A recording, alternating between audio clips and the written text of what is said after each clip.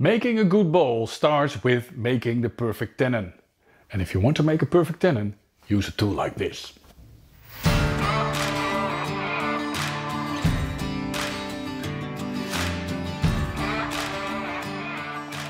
There we have a tight, cute little bowl.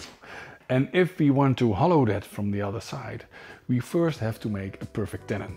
When I make tenons, I always use a tool like this. It's a scraper. Oh, Ronald, are you using scrapers? Yes, I use a scraper every now and then.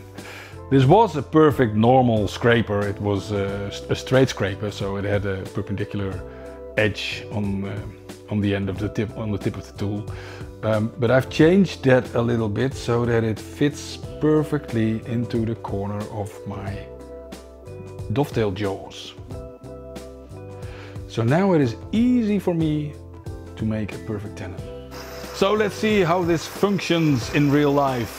There's my handy dandy measuring tool.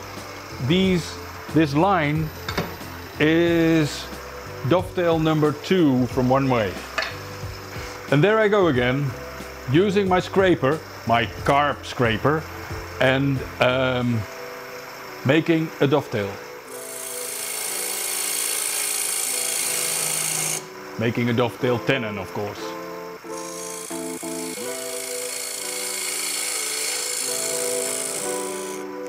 And there it is.